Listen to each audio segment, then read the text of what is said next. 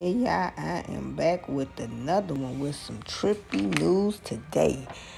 We have a man who allegedly was high on mushrooms and he was arrested after allegedly assaulting crew members during a United Airlines flight from Miami to Washington, D.C. on Tuesday, according to an affidavit filed in Eastern District of Virginia. So apparently he made it that far. Approximately one hour into the flight, the male allegedly started wandering around the plane, running up and down the plane out and clapping loudly near the cockpit and yelling obscenities, according to the affidavit. And it gets better because after he did that and they tried to him down, he ran to the bathroom door and he broke a piece of the door off.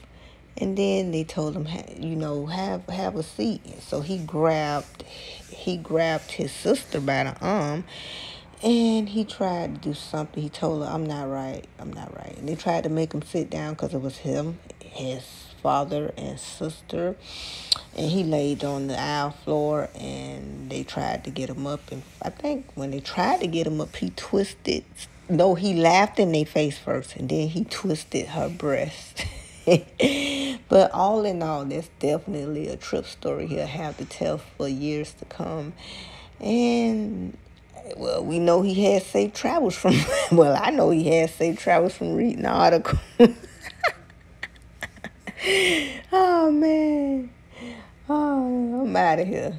Peace, love, light, and good vibrations. But I just wanted to bring that trippy news in. Yeah, he, he eventually apologized after he came down and he told the uh, law officers that that was not his first time indulging in the uh, magic mushroom. So hey, he definitely left on his own recognition. He didn't have to pay a fine. He would have to go back to court. But I wonder what he I wonder what would the judge ask him. I wonder what the judge asked him.